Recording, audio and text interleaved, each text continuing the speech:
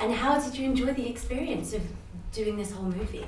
I have to say, it was uh, it, coming back to the UK. We, I was in Newcastle shooting, and I, I was thinking, I wonder how it's going to be. I was on the streets the first day, and everybody was, I mean, ridiculously nice, and the crew was super cool. And it, we had 18 shoot days to make this happen, so it was it was like 20-hour days, long, long days. And everybody, the great thing about an independent movie like this is the one kind of underscore is everyone there loves film, and everyone wants to make it happen. Crazy hours not enough money to do any of it, but let's make it happen. And, we, and I think we pulled it off. I mean, it's an amazing movie. I really